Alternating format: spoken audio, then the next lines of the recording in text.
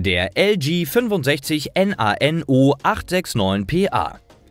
Der 65 Zoll Fernseher von LG bietet 4K-Qualität mit 3840 x 2160 Pixeln.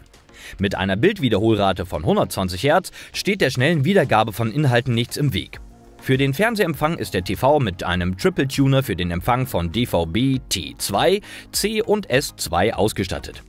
Der Fernseher basiert auf dem Betriebssystem WebOS 6.0, das 2021 auf den Markt gekommen ist. Die ergonomisch geformte Magic Remote ermöglicht eine einfache Steuerung durch Zeigen und Scrollen. Dies ist eine Bewegungserkennung, die es ermöglicht, mit der Hand durch die Menüs des Fernsehers zu navigieren.